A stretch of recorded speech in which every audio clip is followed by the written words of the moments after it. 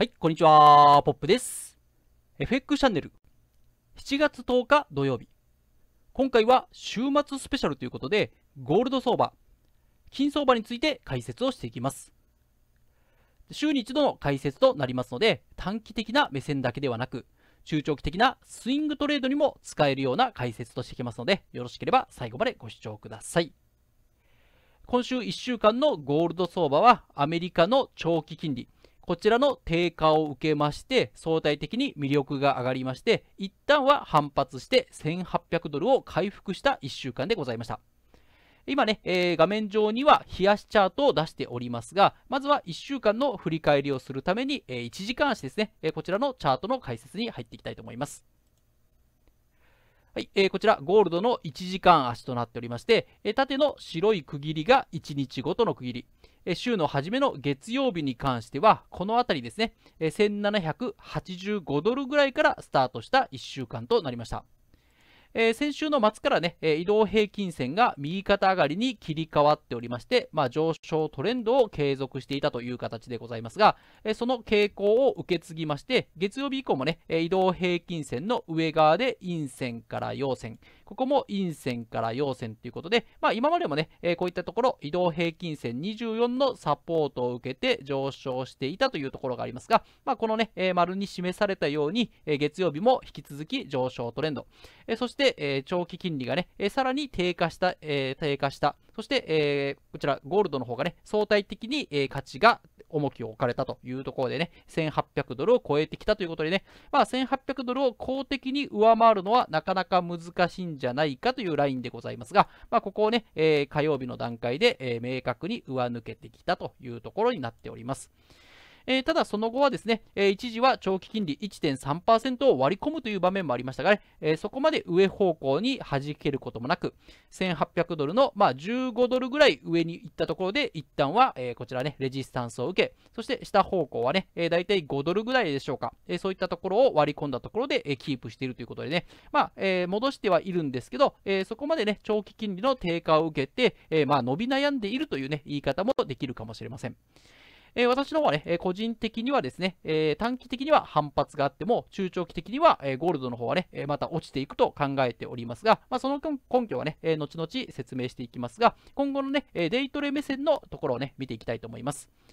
えー、まずね、えー、注意するところ、短期的な目線ということで、デイトレの場合は1時間足をね、えー、こちら基準にしていただければと思いますが、上がった場合と下がった場合、まあ、上がるか下がるかというのはね、え長期金利や、え他の思惑も働くものですから、まあ、投資家、えトレーダーとしましてはね、えどういう状況になったら、えロングするか、ショートするか、様子見をするかというところをね、え考えるのが必要かと思います。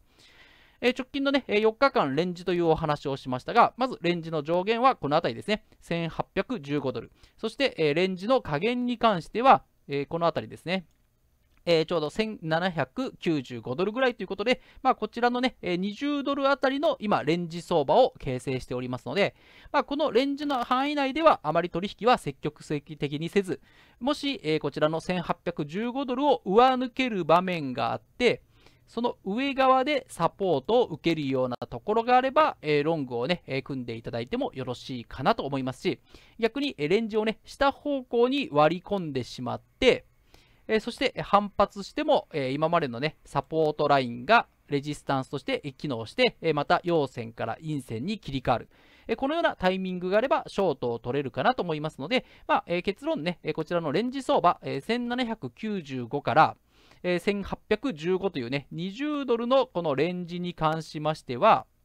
あまりトレードを積極的にしなくてもいいんじゃないかなというところでございます。まあ、細かくね、刻んでいきたいという方はね、えー、1815ドル付近で1時間足が陽線から陰線、まあ、こういったようなパターンですね。こういったところでショートを組むというところもよろしいかもしれませんし、あと、下方向ね、1795ドル、まあ、1800ドルを割り込んでから陰線から陽線にね、なるようなタイミングではロングを組んでね、まあ、お互いの逆方向で、ロングの決済とショートの決済をするというところでもね、よろしいかと思いますが、私個人的にはね、レンジブレイクして、まあ、移動平均線の傾きが出るトレンド相場の方がやりやすいと思いますし、あとね、えレンジ相場の場合、この移動平均線が横ばいになりますと、えこれをね、超えてしまった時に、損切りがね、えできないと、えなかなか厳しい状況になってしまう、えポジションを置いていかれてしまうという可能性がありますので、まあ、このレンジ相場は避けつつですね、え上抜けしてサポートが入ったらロング、下抜けしまして、レジスタンスが入ったらショートという形ががね、えー、まあ、初心者ほどよろしいかと思いますのでね、一つ、えー、こういった、えー、プライスアクションを見ていただきながら、えロングショートを考えていただければというところでございます。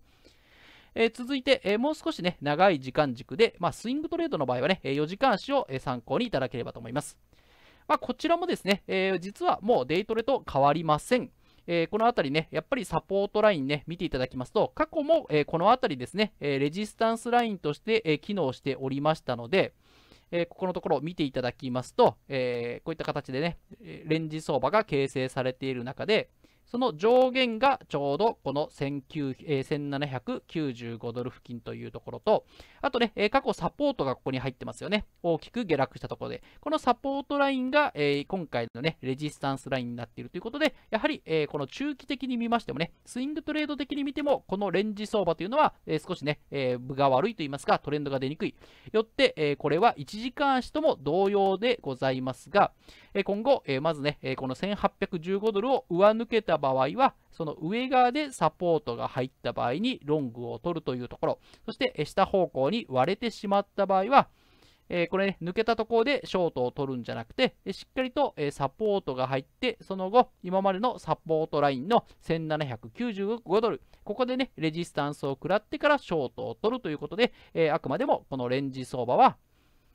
様子見をしておいた方が、まあ、勝率は上がってくるんじゃないかというところとね、まあ、振り返ればレンジ相場って簡単そうに見えるんですが、まあ、実際やっておきますとね、あ、抜けたかな、えー、割れたかなっていうところをね、えー、見てしまって、なかなかね、トレードとしては難しくなりますので、まあ、レンジは避けて、えー、この抜けたところでロングショートを入るんではなくて、えしっかりと上抜けしたらサポートが入ってからですね、ロングを取っていく。そして、え割れたところで入るのではなくて、え割り込んでレジスタンスを食らってからショートを取る。えこういったところでね、勝率率を上げることができるんじゃないかということで、全く1時間足と同じでございますが、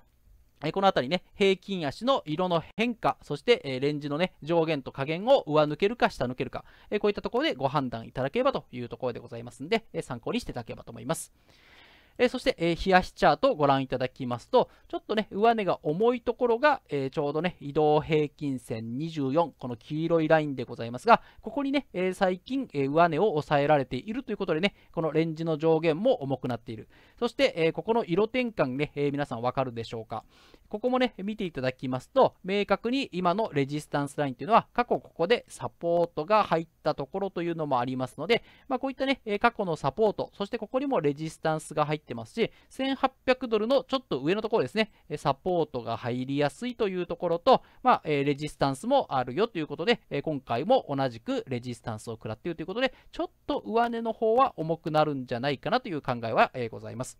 えよってですね、えこちら、えスイングトレードよりももうちょっとね、長い時間軸であれば、この冷やしベースの移動平均線ですね、えこちらの方が、え動きを見ていきますと、まあ、1回反発してきて,、ま、来てますので、右下下がりながらも、この辺りで下げ止まるかなというところでございますが、ただ、えこの移動平均線の下側で、今続いている陰線、えー、陽線ですね。これが陰線に切り替わってしまった場合は、ショートが取れるかな。そして、えー、もう少しね、移動平均線を上回る上昇があった場合は、さっきお話した通りね、1815ドル、このレンジの上限を抜けてからね、えー、サポートが入った場合のみロングが取れるかなというところでございますが、まあ、個人的にはね、え上方向に行くのは難しいんじゃないかというのをね、え連呼しておりますので、まあ、こちらのね、えショートを狙っていく方向を中心に考えていただく。まあ、ただ上のオプションもね、え取っておいた方がよろしいかと思いますが、基本的にはね、下方向に行くところを見ておいた方がよろしいんじゃないかというところでございます。えー、最後にね、え、その根拠、え、下方向に向いていくよという根拠でございますが、これは、え長い長いチャート、月足チャートをご覧いただければと思います。はい、えー、月足チャートね、ご覧いただきますと、過去の史上最高値のゴールドに関しては、2011年にね、えー、つけました、えー、この2000ドル近くまで上がったところの上髭ですね。えー、こういったところがね、えー、史上最高値の過去の、えー、出来事でございます。